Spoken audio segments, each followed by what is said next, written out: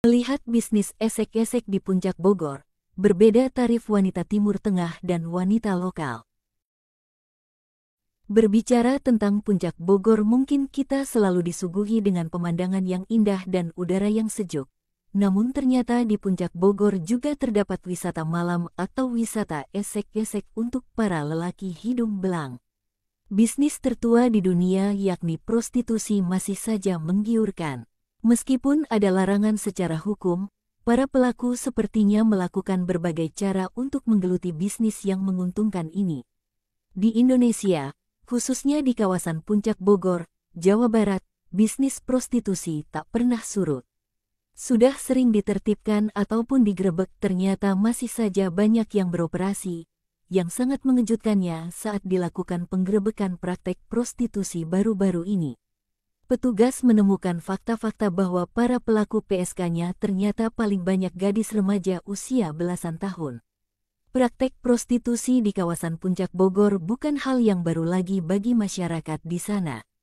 Keberadaan para PSK di Puncak Bogor ini sudah banyak diketahui oleh masyarakat setempat.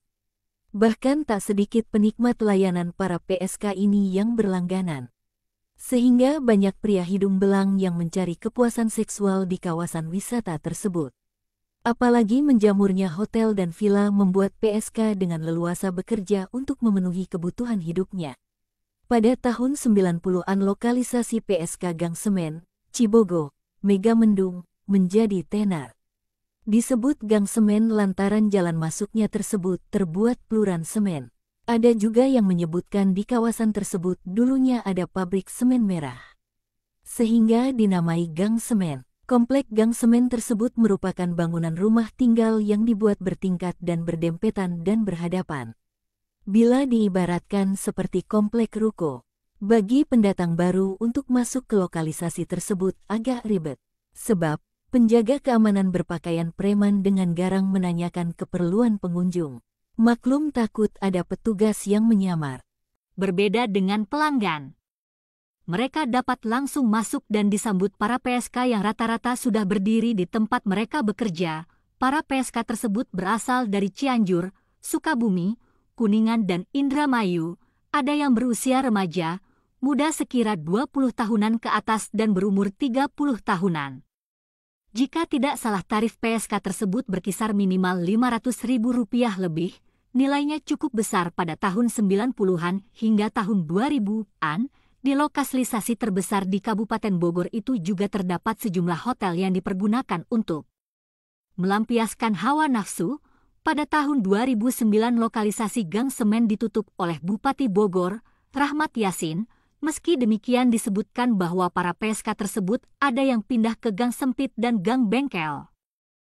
Selain itu, ada juga yang bekerja sendiri dengan memanfaatkan warga setempat mencarikan pelanggan, kembali ditangkap. Penangkapan PSK di kawasan Puncak sering dilakukan, baik itu dari Polres Bogor dan Satpol PP Kabupaten Bogor. Dalam penggerebekan di Villa RMI keempat PSK tersebut adalah 217, SH24, R20, IM 21, dan DPS 31 kemudian mucikari berinisial nomor 35 dan penjaga villa berinisial LS 33. Untuk short time, tarif PSK tersebut Rp500.000, sedangkan No dan LS masing-masing.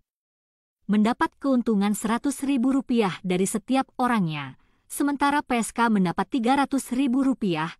Pelayanan jasa seks komersial di kawasan Puncak, Kabupaten Bogor mengalami inovasi para mucikari yang disebut Mami mempekerjakan anak asuhnya atau PSK dengan layanan paket. Layanan paket tersebut mulai berkembang di tahun 2014.